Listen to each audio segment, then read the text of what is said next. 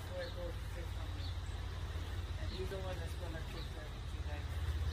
Okay? And with that said, I thank all you guys from all the food that we have here today, from, from Joyce donating the Portuguese sausage, from Pastor Kim bringing all the utensils and food supplies for Mr. It was mainly for Mr. D for